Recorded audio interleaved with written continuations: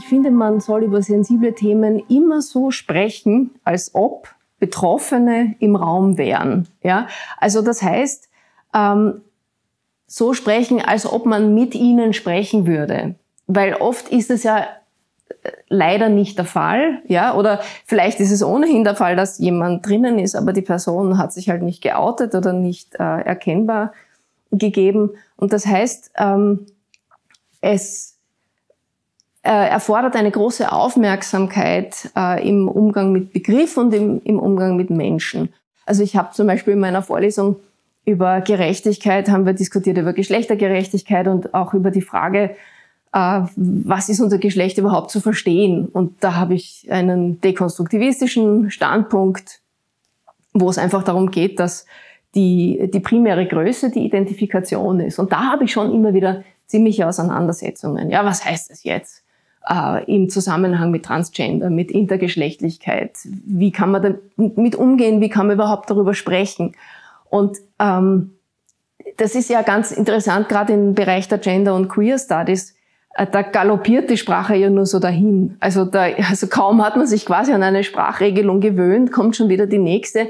Und das ist natürlich immer von dem Anliegen getragen, möglichst sensibel und anerkennend äh, zu sprechen. Aber das heißt natürlich, Menschen, die noch nichts davon gehört haben oder nur wenig davon gehört haben, die kennen die Sprache oft gar nicht. Ja, und dann ist es mir einfach sehr wichtig, ihnen sehr liebevoll mal beizubringen, ja, also es geht um dieses Phänomen, aber dieses und jenes, so sagt man es heute nicht mehr. Also zum Beispiel das Wort Geschlechtsumwandlung. Das ist äh, völlig veraltet, davon spricht man nicht mehr, weil es darum einfach nicht geht und ihnen einfach beizubringen, wie ist die Begrifflichkeit und ihnen immer deutlich zu machen, wenn wir über andere sprechen, dann müssen wir uns eigentlich vorstellen, wir müssten mit ihnen sprechen und uns überlegen, wie können wir äh, ihnen respektvoll gegenübertreten. Ja, und, und einfach uns auch was überlegen mit Blick auf unsere eigene Sprache. Obwohl ich sehr darum bemüht bin, dass quasi nichts passiert im Sinne von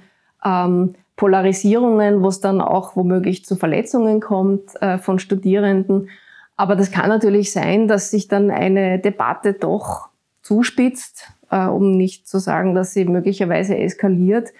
Und dann versuche ich irgendwie so äh, zu intervenieren, äh, dass diese extreme Spannung sich ein bisschen abbauen kann. Also sei es jetzt zum Beispiel, dass ich äh, eine Bezugnahme auf populärkulturelle Phänomene mache oder dass ich eine Anekdote aus meinem eigenen Leben erzähle, ähm, um irgendwie deutlich zu machen, äh, da gibt es einen Weg, den man zurücklegen kann äh, oder auch um einfach so ein bisschen Spannung rauszunehmen äh, aus dem Raum. Äh, und mir ist es halt einfach sehr wichtig, dass es, dass es nicht zu Verletzungen kommt äh, bei den Studierenden oder dass sie nicht das Gefühl haben, dass sie in dem Hörsaal ähm, herablassend, respektlos behandelt werden und dass sie von der Lehrveranstaltungsleiterin, also in dem Fall von mir, dann keine Unterstützung bekommen.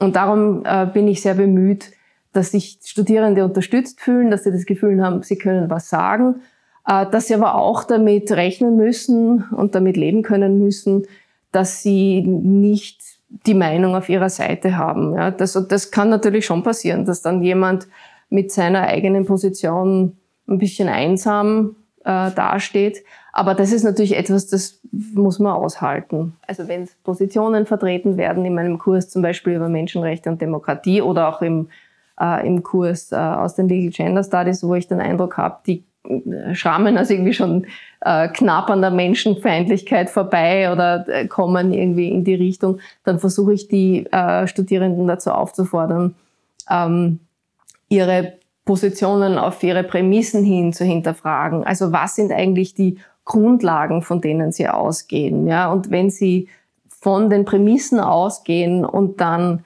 ähm, ihre Schlussfolgerungen ziehen, ob das etwas ist, was sie wollen können, ja, was sie persönlich wollen können oder ob das etwas ist, was man für die Gesellschaft wollen kann. Also es geht dann wirklich darum, ähm, eine Art Test, eine Art Anwendungstest zu machen.